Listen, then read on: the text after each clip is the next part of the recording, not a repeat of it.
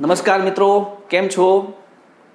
મિત્રો, આપણે સરસ મજાનું ચેપ્ટર, ત્રિપરિમાણીય ભૂમિતિ ચેપ્ટર નંબર અગિયાર, એમાં આપણે રેખા વિશે જોયું હતું. આજે આપણે એમાં સમતલ વિશે જોવું છે. તો સમતલ એટલે શું?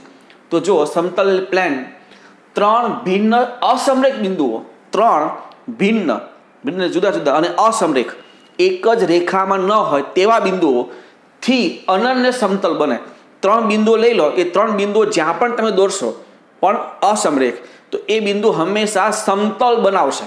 એ સમતલ બનાવે ફિક્સ છે. હવે તમે કોઈ પણ બે સમાંતર રેખાઓ દોરો. કોઈ પણ બે સમાંતર રેખા દોરો, તો એ બે સમાંતર રેખાઓ જ્યાં દોરી હશે, એ સમતલ જ બને. તો એ બે રેખાઓ, બે સમાંતર રેખાઓ, એક અનન્ય સમતલ એ નિશ્ચિત કરે છે ફિક્સ કરે છે. અને અનન્ય બિંદુમાં છેતી બે રેખાઓ કોઈ એક જ બિંદુમાં છેદતી બે રેખાઓ, તો એ બે રેખાઓ જ્યાં પણ તમે દોરી હશે, એ પણ એક સમતલ નિશ્ચિત કરે છે. મતલબમાં સમતલ કઈ રીતે બને? તો ત્રણ અસમરેક બિંદુઓ હોય, ત્રણ ભિન્ન અસમરેક બિંદુઓ તમે બનાવો, આપેલા હોય, તો એ હંમેશા સમતલ બનાવશે. બે સમાંતર રેખાઓ તમે જે દોરેલી હશે, તો એ પણ એક સમતલ બતાવશે. અને બે બિંદુઓ સોરી બે રેખાઓ જે એકબીજાને એક બિંદુમાં છેદતી હોય, તો એ રેખાઓ પણ એક સમતલ નિશ્ચિત કરશે. એટલે આ ત્રણ વસ્તુ તમે જ્યાં પણ દોરશો, તો એ એ હંમેશા સમતલમાં જ દોરેલું હશે એવું તમે કહી શકો છો. બરાબર છે? તો આ કહેવાય સમતલ. હવે સમતલના સમીકરણ અને એના વિશે આપણે થોડુંક જોઈએ. જુઓ. તો સૌથી પહેલું આપણે જે જોયું તે ત્રણ ભિન્ન અસમરેક બિંદુઓમાંથી પસાર થતું સમતલનું સમીકરણ જોવું છે. આપણને ત્રણ બિંદુ આપેલા હશે. આપણે ધારી લઈએ, ધારો કે એ બી અને સી એ ઓફ સદિશ એ બી ઓફ સદિશ બી અને સી ઓફ સદિશ સી એ આર થ્રી એટલે કે ત્રિપરિમાણના ત્રણ ભિન્ન અસમરેક બિંદુઓ છે. હવે આ ત્રણ અસમરેક અને ભિન્ન બિંદુઓ છે, તો આપણે અહીંયા કીધું તે પ્રમાણે તે એક સમતલ બનાવશે. બરાબર? તો અહીંયા લખ્યું છે જો એ બી સી એક સમતલ નિશ્ચિત કરે છે, જે આપણને ઉપર કીધું. હવે આ ત્રણ બિંદુઓ છે. એ ત્રણ બિંદુઓ સિવાય હજી એક બિંદુ ધારી લો કે ધારો કે પી ઓફ દિસ આર એ સમતલ પરનું એક અન્ય બિંદુ છે. એટલે ચાર બિંદુ થયા એ બી સી અને પી તો આ ચાર બિંદુઓને જોઈન્ટ કરી મતલબમાં એનો સ્થાન સદિશ હું મેળવું, જો એપી એબી અને એસી આ સદિશ એપી એબી અને એસી એ એક જ સમતલ પરના છે કારણ કે ચારે ચાર બિંદુઓ એક જ સમતલના છે. આ ચારેય બિંદુઓ જે એક જ સમતલના છે તો એ બિંદુઓથી જે સ્થાન સદિશ બનશે, એ પણ એક જ સમતલપણું થાય, એ જ સમતલપણું થાય. તો હું કહી શકું, આ જે સદિશ છે એપી એબી અને એસી એ કેવું છે? સમતલીય. અને ત્રણ સદિશ જો સમતલીય હોય, તો એનું પેટી ગુણાકાર જીરો થાય, જે આપણે આગળ જોયું છે. તો સદિશ AP dot AB cross AC equal to zero સદિશ એપી ને શું લખાય? સદિશ આર માઇનસ એ ડોટ આને લખાય બી માઇનસ એ આને લખાય સી માઇનસ એ તો આ જે છે એ સમતલનું સદિશ સમીકરણ કહેવાય. તમે આ આ રીતે પણ યાદ રાખી શકો. બરાબર? અથવા આ રીતે પણ યાદ રાખી શકો. R minus a dot b minus a cross c minus a equal to zero જેને સદિશ સમીકરણ તમે કહી શકો સમતલનું. હવે આમાં આપણે આર એ બી અને સી એમાં જે બિંદુઓ આપેલા હોય તે બિંદુઓ મૂકી દઈએ. જો સદિશ આર બરાબર એક્સ વાય ઝેડ એ બરાબર x one y one z one b બરાબર x two y two z two અને સી બરાબર x three y three z three જો આપણે આમાં મૂકશું, તો આ પેટી ગુણાકાર મતલબમાં નિશ્ચય થયો. તો આ પહેલી હાર આર માઇનસ એ એટલે આમાંથી આ વાત કરો. X minus x one y minus y one z minus z one પછી બી માઇનસ એ બીમાંથી એ બાદ કરો. X two minus x one y two minus y one z two minus z one એ જ રીતે સી માઇનસ એ એટલે કે x three minus x one y three minus y one ને z three minus z one equal to zero એને સમતલ શું કહેવાય? કાર્તેજીય સમીકરણ. મિત્રો, આ બે સમીકરણ યાદ રાખવાના. આ જે છે, એ અદિશ સમીકરણ.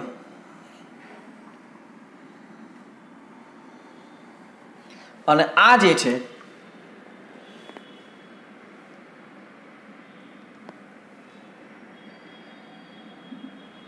એને તમે કાર્કેજીય સમીકરણ કહી શકો છો. આ સમીકરણ સૂત્ર એની આપણને જરૂર પડશે. હવે સેમ આ જ રીતે જો હું આર એ બી અને સી જો ધારી લઉં, તો આ જે છે r equal to a l plus b m plus n c એને પણ તમે સમતલનું સમીકરણ કહી શકો છો. જેમાં આ બિંદુઓ મૂકો, તો એક્સિયમ, આ જે બિંદુઓ મૂક્યા પછીનું એક્સએમ શું થાય? તો x equal to x one l x two m અને એક્સ થ્રી એમ વાય બરાબર તમામના વાય એમ એટલે l y one plus m y two plus n y three એ રીતે ઝેડ એમ ઝેડ બરાબર l z one plus m, z two plus n, z three, એને સમતલના પ્રચલ સમીકરણ તમે કહી શકો છો. સદિશ કાર્ટેજીય અને આ પ્રચલ. જેમાં આ જે એલ, એમ અને એન લીધું છે, એ એનો સરવાળો શું થાય? એક. એટલે l cross m plus n equal to l plus m plus n equal to one તમે કહી શકો છો. એટલે ખાસ મિત્રો, આ બે સમીકરણ આપણે જોઈશે સદિશ અને કાર્તિજીય સમતલના. જો તમને ત્રણ બિંદુઓ આપેલા હોય આગળ. આર ક્યુબમાં ચાર બિંદુઓ તમને આપે છે. અને તે સમતલીય હોય, એના પણ શરત. ચાર બિંદુઓ સમતલીય બતાવવાનું. તો અહીંયા આપણે ચાર બિંદુઓ દીધા છે. એ બી સી અને પી બરાબર? તો એ બી સી અને પી જો સમતલ્ય હોય, તો શું તો નિશ્ચાયક બરાબર જીરો સેમ આમાં એ જ થશે. તો ચાર બિંદુ આપણે લઈ લઈએ. એ બરાબર x one y one z one b x two y two z two c x three y three z three d x four y four z four હવે આમાં ધારો કે એક બિંદુ એ એ બી બી એ સી એ અને ડી એ આમાં છે ને જો આપણે ચાર બિંદુઓ છે એ બી અને સી અને પી તો આમાં એક બિંદુ લીધું એ એ બધામાંથી બાદ થશે. આરમાંથી એ બીમાંથી એ અને સીમાંથી એ તો આરમાંથી એ બીમાંથી એ અને સીમાંથી એ બાદ થયું. તો આમાં પણ કોઈ પણ એક બિંદુ લઈ લો. તમે એ લો બી સી ડી કોઈ પણ લઈ શકો છો. જે બાકીના ત્રણ બિંદુમાંથી બાદ કરવાના અને એનો નિશ્ચય લઈ લેવાનો. ધારો કે આપણે એ જ લઈએ. તો શું થાય નિશ્ચાય? X two minus x one y two minus y one z two minus z one x three minus x one y three minus y one z three minus z one x four minus x one y four minus y one ને z four minus z one is equal to zero થાય. જો આ રીતે નિશ્ચાયક zero થાય, તો તમે કહી શકો કે ચારે બિંદુઓ સમતલીય છે એવું તમે કહી શકો છો. અને એ પણ કઈ રીતે? આ રીતે, આના પરથી. બરાબર? નેક્સ્ટ થિયરી જોઈએ. સમતલના અંતખંડ સમતલના અંતખંડ. મિત્રો, આગળ આપણે રેખાના અંતખંડ જોયેલા છે. અગિયારમાં ધોરણમાં, રેખાઓ ચેપ્ટરમાં. સેમ એ જ વસ્તુ, સમતલના અંતખંડ. જો સમતલના યામાક્ષ એ બિંદુઓ A of a zero zero B of zero b zero અને સી ઓફ જીરો જીરો સીમાં છેદશે તો સ્મોલ એ બી અને સી એને શું કહેવાય? અનુક્રમે એક્સ અંતખંડ વાય અંતખંડ અને ઝેડ અંતખંડ તમે કહી શકો છો. જેનું સમીકરણ x by a plus y by b plus z by c equal to one થાય. મિત્રો, આના જેવું જ રેખાનું અંતખન સ્વરૂપ હતું. X by a plus y by b is equal to one અહીંયા x by a plus y by b plus z by c equal to one એ તમે સમતલનું અંતઃખંડ સ્વરૂપ સમીકરણ કહી શકો છો. એટલે આ સમીકરણ પણ આપણા માટે કામનું થશે.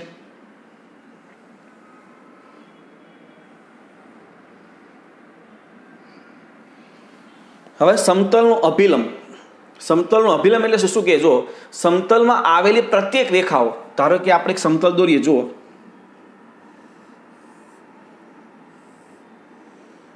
આ જે છે આપણું સમતલ, જેને સમતલનું નામ છે પાય આ એક સમતલ છે. તો સમતલ પર આવેલી કોઈ પણ રેખા, ધારો કે એક રેખા છે આ.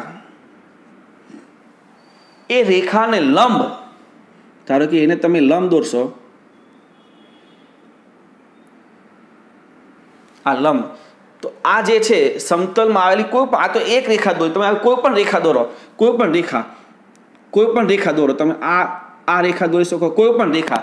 તો સમતલમાં આવેલી તમામ રેખાઓ, પ્રત્યેક રેખાઓ ને લંબ હોય તેવી રેખાની દિશામાં આવેલો સદિશ. આવી જેટલી પણ રેખાઓ હોય, એ તમામ રેખાઓને લંબ સદિશ એને શું કહી શકો તમે? સમતલનો અભિલંબ કહી શકાય. જેને સદિશ એન વડે આપણે દર્શાવીશું. ફરી, સમતલમાં તમે જેટલી પણ રેખાઓ દર્શાવશો, એ તમામ રેખાઓને લંબ સદિશ, એ શું કહેવાય? અભિલંબ. આગળ, બિંદુ એ ઓફ સદિશ એ અને અભિલંબવાળા સમતલનું સમીકરણ. તો મિત્રો, આમાં જ આપણે લઈ લઈએ. ધારો કે કોઈ એક બિંદુ સમતલ બલનું બિંદુ આપણે લઈએ સ્મોલ એ ઓફ સદિશ એ અને અભિલંબ આપણે પછી લઈશું. હવે સમતલ પરનું અન્ય કોઈ બિંદુ આપણે પી ઓફ સદિશ આર લઈએ. પી ઓફ સદિશ આર બરાબર? તો આ બે બિંદુને જોડતો સદિશ શું થાય? એપી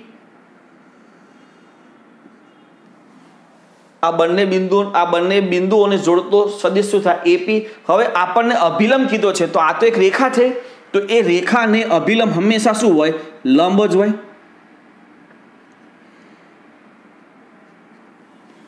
સદિશ એન તો હું આના પરથી કહી શકું, સદિશ એપી ડોટ સદિશ n is equal to zero AP લંબ સદિશ એન હોય જ.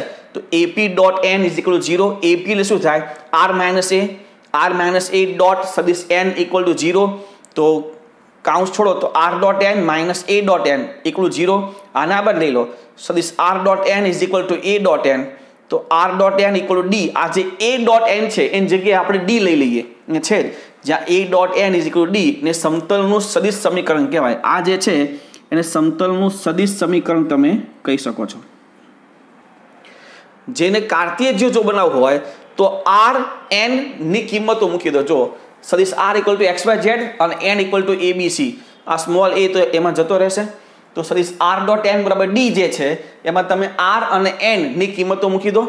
તો આર ડોટ એન છે, તો શું થશે? જો a x plus b y plus c z equal to d મિત્રો, આમાં ચલના જે સહગુણકો છે, ચલના સહગુણક, એ અભિલંબ થાય. આગળ આપણને દાખલાઓ જ્યારે કરશું તો એ દાખલાઓમાં સમતલનું તમને સમીકરણ આપેલું હશે.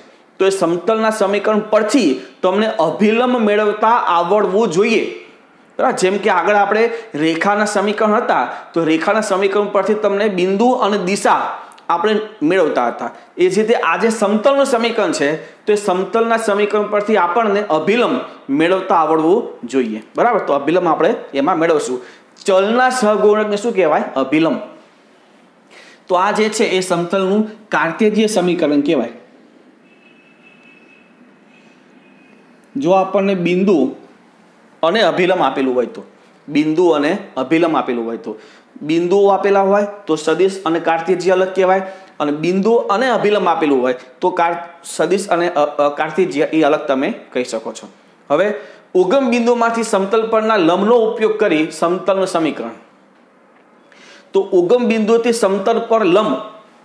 તો ધારો કે ઉગમ બિંદુમાંથી સમતલનો લંબપાદ એન એ સદિશ એન છે.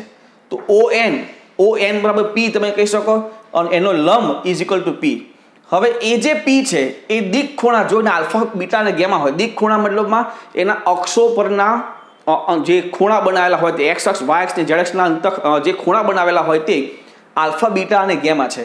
તો દિક કોસાઇન શું થાય? કોસ આલ્ફા કોસ બીટા અને કોસ ગેમા. તો સદિશ એનના દિશાનો એકમ સદિશ શું થયો? N upon mod of n મતલબ સદિશ એન મોડ ઓફ એન તો પી છે આપણો. તો આ જે દિક કોસાઇન એ કોસ આલ્ફા કોસ બીટા કેમ કોસ ગેમા ઇક્વલ ટુ સદિશ એન અપન પી પી ઉપર લઈ લો, તો સદિશ એન શું થઈ જાય? P cos alpha P cos beta P P cos gamma આ સદિશ એન જે આપણો અભિલંબ છે. તો સૂત્ર r dot n is equal to અહીંયા તમે કોઈ પણ ધારો કે પી કે ડી લઈ લો. તો R dot N X cos alpha plus Y cos alpha plus Z cos alpha. આ જે છે, એ પી સ્ક્વેર થશે. શું થશે? પી સ્ક્વેર પણ આનો એક પી આનો એક પી નીકળી જશે. મતલબમાં સમીકરણ એવું એ કયું બનશે? X cos alpha plus Y cos beta plus Z cos gamma is equal to P એ કેવું? ઉગમ બિંદુથી સમતલ પરનો લંબ ના ઉપયોગથી બનતું સમતલનું સમીકરણ. મિત્રો, અહીંયા આપણે શું જોયું? જો ત્રણ ભિન્ન અસમલક બિંદુઓ હોય તો સદિશ અને કાર્તેજીય. પ્રથમ સમીકરણ. ચાર બિંદુઓ સમતલીય સાબિત કરવાની શરત. એ જ રીતે અહીંયા સમતલ કોને કહેવાય? તો સમતલના અંતખંડ. અંતખંડ સ્વરૂપ સમતલનું સમીકરણ. પછી જો બિંદુ અને અભિલંબ આપેલું હોય, તેવું સદિશ અને કાર્તિક સ્વરૂપ. અને આ જે છે, એ ઉગમ બિંદુમાંથી સમતલ પરના લંબના ઉપયોગથી સમતલનું સમીકરણ. તો આ બધા જે સૂત્ર છે, એ સૂત્ર ખાસ તમે સમજજો અને યાદ રાખજો. બરાબર? આગળ જોઈએ. પહેલાં આટલું લખી લો.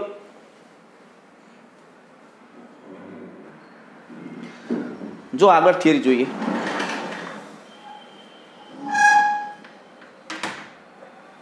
બે સમતલ વચ્ચેનો ખૂણો. બરાબર, બે સમતલ, આપણે આગળ બે રેખાઓ વચ્ચેનો ખૂણો જોયો છે. સેમ એના જેવો બે સમતલ વચ્ચેનો ખૂણો થશે. તો આપણે પેલા બે સમતલ ધારી લઈએ. ધારો કે બે સમતલના અભિલંબ એન વન અને એન ટુ છે. મેં આગળ વાત કરી ને કે આપણને સમતલના સમીકરણ આપેલા હશે, જેના પરથી આપણે અભિલંબ એ કાઢવા પડશે. તો સમતલના સમીકરણો પરથી અભિલંબ કઈ રીતે મળે? તો જે સમતલનું સમીકરણ આપેલું હોય, એના ચલના સહગુણક, અહીંયા એક્સ વાય અને ઝેડનો જે સહગુણક છે, એ બી અને સી એ આપણો અભિલંબ થાય. જે ચલના સહગુણકો હશે, એ શું કહેવાય આપણા અભિલંબ. તેમાં બે અભિલંબ આપણે મેળવીએ એન વન અને એન ટુ એમાં જો N one dot N two એટલે બે અભિલંબ, બરાબર, ધારો કે આ એક સમતલ છે, અને આ આ એનો અભિલંબ હોય. તો આ એક અભિલંબ થયો. આવો ને આવો બીજો અભિલંબ તમે વિચારો. જે કેવું હોય, ધારો કે એક અભિલંબને એક આમ હોય, આનું અભિલંબ અહીંયા આમ આમ તમે વિચાર તો આ તો અભિલંબ બંનેના કેવા થયા? એક આ અને એક આ. આ બંને અભિલંબ કેવા છે સમાંતર. બરાબર? પણ ધારો કે એ બંને બંને અભિલંબ લંબ હોય, એટલે આ રીતે હોય. એક આ આમ આમ. આ એક અભિલંબ અને આ એક અભિલંબ આ અભિલંબ જો ડોટ પ્રોડક્ટ જીરો હોય તો આ બંને સમતલ કેવા હોય? પરસ્પર લંબ તમે કહી શકો છો. એટલે જો N one dot N two equal to zero તો બે સમતલ લંબ છે તેમ તમે કહી શકો છો. એ જ રીતે જો N one cross N two એટલે કે બે સદિશોનો ક્રોસ પ્રોડક્ટ બે અભિલંબનો ક્રોસ પ્રોડક્ટ એ શૂન્ય સદિશ થાય તો બે સમતલ એ તમે સમાંતર છે તેવું તમે કહી શકો છો. હવે બે સમતલ ના અભિલંબ ક્રોસ પ્રોડક્ટ અભિલંબનો ક્રોસ પ્રોડક્ટ ઝીરો કઈ રીતે થાય? તો એક આમ હોય અને એક આમ હોય. મતલબ બે સમતલના અભિલંબ એ પણ કેવા થયા? સમાંતર જ થયા. તો જ ક્રોસ પ્રોડક્ટ ઝીરો થાય. તો આ ક્રોસ પ્રોડક્ટ ઝીરો થયા તો તમે જોઈ શકો છો આ સમતલ ને આ સમતલ કેવું થયું? સમાંતર થયું. બરાબર છે? અને જો બે સમતલ લંબ કે સમાંતર ન હોય તો એમનો વચ્ચેનો ખૂણો ધારો કે થીટા હોય, તો cos theta equal to mod of સદીસ N dot N છેદમાં મોડ ઓફ સદીસ એન વન અને મોડ ઓફ સદીસ એન ટુ જ્યાં થીટા પ્રથમ ચરણમાં હોય, એટલે કે લઘુ કોણ એ ખૂણો હોય. તો આ સૂત્ર ખાસ ધ્યાન રાખવું. નેક્સ્ટ બે સમાંતર રેખાઓમાંથી પસાર થતા સમતલનું સમીકરણ. બે સમાંતર રેખાઓ આપણને આપી છે. એમાંથી પસાર થતું સમતલ આપણે મેળવવું છે. તો સમતલ માટે આપણી પાસે શું હોવું જોઈએ? એક તો બિંદુ અને અભિલંબ આ બે વસ્તુ આપણી પાસે હોવું જોઈએ. તો આપણે સમતલનું સમીકરણ મેળવી શકીએ. જે જે રીતે આપણે રેખાનું સમીકરણ મેળવ્યું હતું, એમાં રેખાના સમીકરણ માટે આપણી પાસે શું હોવું જોઈએ? તો કે બિંદુ, રેખા પરનું બિંદુ અને રેખાની દિશા. એ જ રીતે જો સમતલ સમીકરણ મેળવવું હોય તો આપણી પાસે શું હોવું જોઈએ? તો સમતલ પરનું બિંદુ અને સમતલનો અભિલંબ ધારો કે બે સમાંતર રેખાઓ. સમાંતર રેખાઓ છે એટલે દિશા બંનેની સરખી હશે. સદિશ this r to A plus K L અને સદિશ R equal to B plus K L તો સમતલનો અભિલંબ શું થાય? તો મિત્રો ધારો કે આપણે એક સમતલ દોરીએ, જો અહીંયા.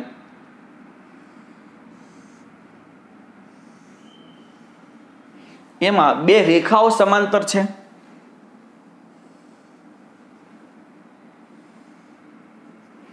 આ રીતે બે રેખાઓ સમાંતર છે. રેખા પરના બે બિંદુઓ તમે લઈ લો.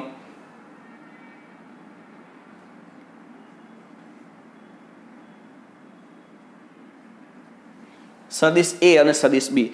હવે મારે અભિલંબ મેળવવો છે. તો અભિલંબ કઈ રીતે મેળવવો? તો આપણી પાસે અભિલંબ એટલે શું? તો રેખા પરના આ જે રેખાઓ છે, એ રેખા પરનો જે લંબ, રેખા પર સમતલમાં જેટલી પણ રેખાઓ આપેલી હોય, એ તમામ રેખાઓને લંબ. મતલબમાં મારે આ જે રેખાઓ છે, એનો લંબ દોરવો છે. લંબ આપણે મેળવવો છે. હવે કોઈ પણ રેખાઓને લંબ મેળવો તો એ બે રેખા તમારી પાસે હોવી જોઈએ. પણ આ તો બે સમાંતર રેખાઓ છે. હું એક કામ કરું, સદિશ એ અને બી ને જોડતો સદિશ પડી લઉં. આ સદિશને જોડતો સદિશ. એટલે બી માઇનસ એ થયા બી માઇનસ એ, અને એક આ જે બે દિશા, બે રેખાઓ આપી છે, એની દિશા તો આપણને આપી જ છે સદિશ એલ. હવે જોજો, આ બી માઇનસ એ અને એલ એ બંનેને લંબ સદિશ એ બંનેને લંબ, કારણ કે આ પણ એક રેખા છે, આ પણ એક રેખા છે, એ તમામને લંબ હોય. આ રેખાને પણ લંબ અને સદિશ એ બીથી આ સદિશ એ બીને જોઈન્ટ કરવાથી જે રેખા બનશે, એ રેખાથી પણ લંબ. એટલે બંનેને લંબ હોય, તેવો સદિશ શું થાય? લંબ અભિલંબ, કારણ કે અભિલંબની વ્યાખ્યા જે હતી, આગળ આપણે જોઈએ પ્રમાણે. અભિલંબની વ્યાખ્યા શું હતી? સમતલમાં આવેલી તમામ રેખાઓને લંબ, સદિશ એટલે અભિલંબ. તો આ તો બે સમાંતર રેખાઓ છે, એને લંબ સદિશ આપણે મેળવી શકીએ? નહીં, તો મેં શું કર્યું? આ બે રેખાઓ પર જે બિંદુઓ હતા, એ બિંદુઓને જોડતો સદિશ આપણે મેળવો એ સદિશ અને આ દિશા એલ એ બંનેનો ક્રોસ પ્રોડક્ટ કરવાથી આપણે શું મળે? સમતલનો અભિલંબ અથવા એ બંનેનો લંબ સદિશ. અને બંને લંબ સદિશ બદલમાં અભિલંબ. તો સમતલનો અભિલંબ શું થાય? બી માઇનસ એ ક્રોસ સદિશ એલ તો આ અભિલંબ મળી ગયો. આપણી પાસે બિંદુ તમે કોઈ પણ લે, ધારો કે એ લઈ લો. તો સમતલનું સમીકરણ this R minus A dot N equal to zero તો આર માઇનસ એ એટલે એ અને ડોટ એન એટલે તો કે B minus A cross L તમે અહીંયા એ આ જે એ છે, એની જગ્યાએ બી પણ લઈ શકો છો, જે લેવું હોય તે. આપણે એ રાખ્યું છે. હવે આ એનું કાર્તિક સદિશ સમીકરણ કહેવાય.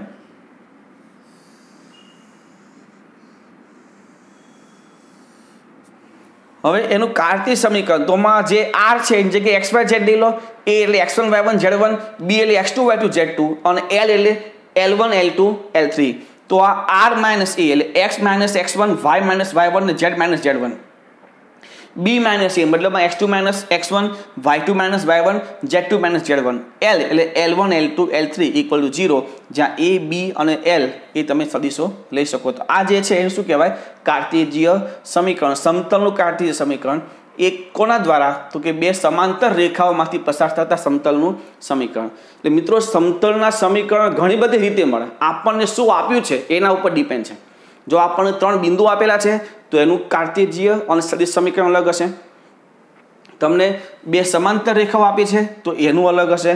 તમને જો આ રીતે કોઈ બિંદુ અને અભિલંબ આપેલા હશે, તો એનું સદિશ અને કાર્તિજીય સમીકરણ અલગ અલગ હશે. એટલે તમને શું આપ્યું છે, એના ઉપરથી ખ્યાલ આવશે. બરાબર? નેક્સ્ટ બે છેદતી રેખાઓમાંથી પસાર થતા સમતોલ સમીકરણ. બે છેદતી રેખાઓ છે. જુઓ. ધારો કે આપણે એક સમતલ દોરીએ અહીંયા.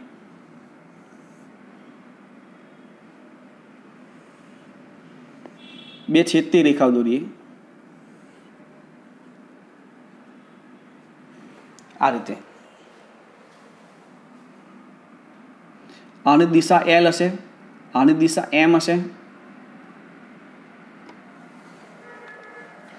હવે આપણે પહેલાં તો એક બિંદુ જોઈશે. તો ધારો કે જો બે છેદતી રેખાઓ લઈ લઈએ પહેલાં. સદીશ R equal to A plus K L અને બી સદીશ આર ઇઝ ઇક્વલ ટુ સદીશ બી પ્લસ કે એમ તો એ સદિશનો અભિલંબ. હવે આપણી પાસે છે તો બે રેખાઓ છે. તો બે રેખા પરથી અભિલંબ કઈ રીતે મેળવવો? તો અહીંયા બે જે રેખાઓ છે ને, એ છેદતી રેખાઓ છે. જ્યારે અહીંયા બે રેખાઓ હતી, એ સમાંતર હતી. તો સમાંતર રેખાઓનો ક્રોસ પ્રોડક્ટ એ એ કોઈ અભિલંબ ન આપે. કોઈ લંબ લંબ સદિશ ન આપે. કારણ કે સમાંતર રેખાઓની દિશા સરખી હોય અને સરખી દિશા હોય તો ક્રોસ પ્રોડક્ટ તો શૂન્ય સદિશ થાય. તો લંબ સદિશ થાય નહીં. પણ જો બે છેદતી રેખાઓ હોય તો એ બે છેદતી રેખાઓની દિશા અલગ અલગ હોય. અને દિશા અલગ અલગ હોય તો એનો લંબ સદિશ એ શું થઈ જાય? એનો અભિલંબ. આ ખાસ ધ્યાન રાખવું. તો સમતલનો અભિલંબ N is equal to L cross M થાય.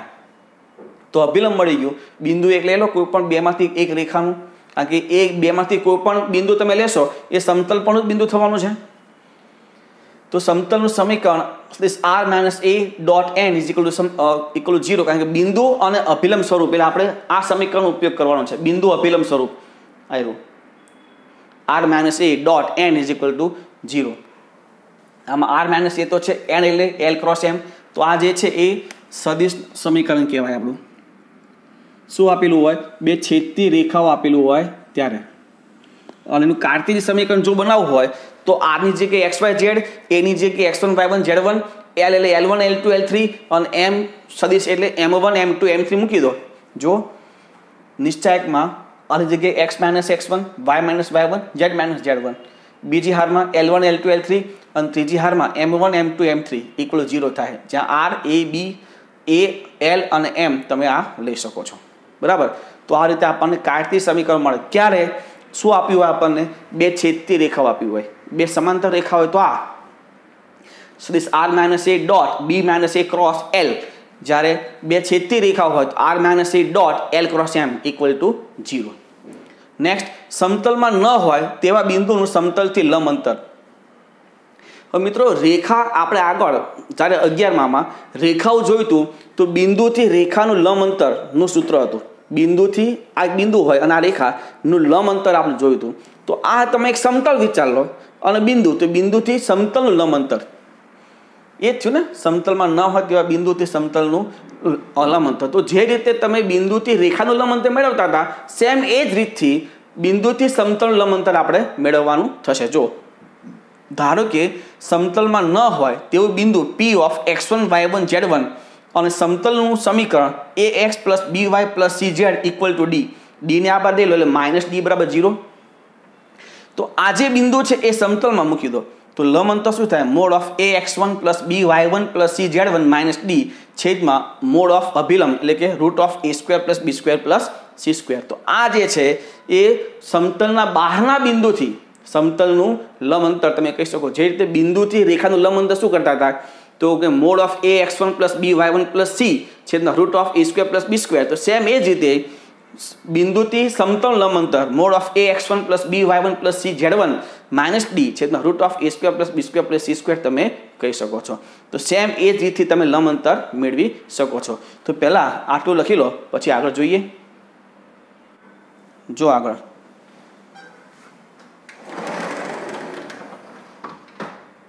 બે સમાંતર સમતલ વચ્ચેનો લંબ અંતર. તો બે સમાંતર જે સમતલ હોય, તો બે સમાંતર સમતલ વચ્ચે શું હોય? જો ધારો કે આ અને આ બે સમાંતર સમતલ છે. તો એ બે સમાંતર સમતલ વચ્ચે આ જે છે, એ એનો અભિલંબ થાય. તો બે સમાંતર સમતલ હોય, તો એનો અભિલંબ એક જ હોય. બરાબર ને? તો અહીંયા એવું જ એક સમતલ, બે સમતલ આપણે ધારે જુઓ ધારો કે બે સમતલ, A X plus B Y plus C Z equal to D one અને A X plus B Y plus C Z બરાબર ડી ટુ હોય. તો એ બે સમાંતર, સમતલ વચ્ચેનું લંબ અંતર. હવે એ જ વસ્તુ, ધારો કે બે સમાંતર રેખા હોય, તો એના લંબ અંતર સૂત્ર શું હતું? તો કે mod of C minus C dash છે root of A square plus B square. જે કોન્સ્ટન્ટ હોય એની બાદ બાકીનો માનાંક છેદમાં ચલના સહગુણકના વર્ગોનો સરવાળો. તો એ કોન્સ્ટન્ટ છે ડી વન ને ડી ટુ. તો ઉપર mod of D one minus D two, છેદમાં ચલના સહગુણકના વર્ગોનો સરવાળો. નું રૂટ તો ચલના સહગુણક એ, બી અને સી, તો છેદમાં root of A square plus B square plus C square એટલે જે રીતે બે સમાંતર રેખા વચ્ચેનું લંબ અંતર મેળવતા હતા, સેમ એ જ રીતથી બે સમાંતર સમતલો વચ્ચેનું લંબ અંતર મેળવવાનું mod of D one minus D two છેદમાં root of A square plus B square plus C square હવે રેખા અને સમતલ વચ્ચેનો ખૂણો. મિત્રો, આપણે બે સદિશ વચ્ચેનો ખૂણો જોયો દસમા ચેપ્ટરમાં. પછી બે રેખા વચ્ચેનો ખૂણો જોયો, બે સમતલ વચ્ચેનો ખૂણો જોયો. હવે રેખા અને સમતલ. અત્યાર સુધી બંને સરખું સરખું તો જુઓ, સદિશ સદિશ, રેખા રેખા, સમતલ સમતલ. પણ હવે રેખા અને સમતલ.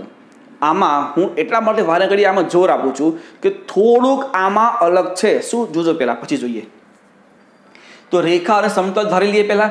ધારો કે રેખા સદિશ R equal to A plus K L અને સમતલ A X plus B Y plus C Z બરાબર ડી હોય, તો તેમની વચ્ચેનો ખૂણો. મિત્રો, આપણી પાસે રેખા છે, તો તમને એની દિશા મળી જશે એલ આપણી પાસે સમતલ છે, તો સમતલ પરથી અભિલંબ મળી જાય, સદિશ એન તો એની વચ્ચેનો ખૂણો જો થીટા હોય, તો હવે જો અલગ શું છે? અત્યાર સુધી આપણે જે સદિશ જોયો, એમાં કોસ લેતા હતા. બે રેખા, તો કોસ બે સમતલ, તો કે કોસ પણ રેખા અને સમતલ હોય, તો સાઇન થીટા આવશે. સાઇન થીટા ઇક્વલ ટુ સદિશ એલ ડોટ એન છેદમાં mod of L mod of N આ ખાસ ધ્યાન રાખજો સાઇન થીટા આવશે. બરાબર છે? નેક્સ્ટ જુઓ. બે સમતલના છેદમાંથી પસાર થતા સમતલ સમીકરણ. બે સમતલ આ રીતે છેદતા, આ એક સમતલ છે, આ એક સમતલ છે. એના છેદ. આ છેદમાંથી એક સમતલ બીજું પસાર થાય. તો એ સમતલનું સમીકરણ આપણે મેળવવું છે. જો ધારો કે બે સમતલ A one X plus B one Y plus C one Z બરાબર પ્લસ ડી વન બરાબર જીરો અને A two X plus B two Y plus C two Z plus D two બરાબર જીરો હોય, તો સમતલનું સમીકરણ. હવે આપણે અગિયાર, અગિયારમા ધોરણમાં બે રેખાઓના છેદમાંથી પસાર થતી રેખા મેળવવું હોય તો શું કરતા હતા? એક રેખા વત્તા લેમડા ઇન્ટુ બીજી રેખા બરાબર જીરો. કરતા હતા ને? સેમ એ જ વસ્તુ. આ એક સમતલ વત્તા લેમડા ઇન્ટુ બીજું સમતલ ઇઝ ઇક્વલ ટુ જીરો આ જે છે એ શું કહેવાય? બે સમતલના છેદમાંથી પસાર થતું સમતલનું સમીકરણ. હવે ધારો કે બે સમતલના છેદમાંથી પસાર થતું રેખાનું સમીકરણ મેળવવું હોય, રેખા. તો બે સમતલના છેદમાંથી પસાર થતી રેખાનું સમીકરણ.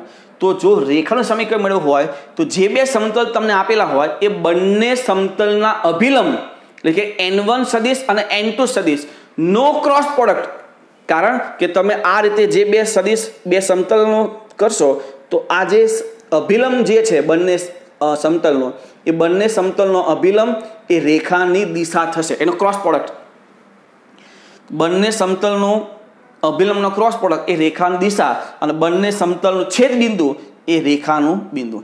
તો બે સમતલના છેદમાંથી પસાર થતી રેખાનું સમીકરણ સદીશ R equal to A plus K N one cross N two થાય, જ્યાં સદિશ એ એ સમતલનું છેદ બિંદુ છે. અને લાસ્ટ થિયરી આજની, આપેલ સદિશને લંબ અને આપેલ બિંદુમાંથી પસાર થતા સમતલ સમીકરણ, એટલે કે આ જે કોઈ સદિશ આપણને સમતલને લંબ હોય, અને આપેલા બિંદુ તો સીધી વાત છે, જે લંબ સદિશ છે સમતલને, એ આપણો અભિલંબ થઈ જાય.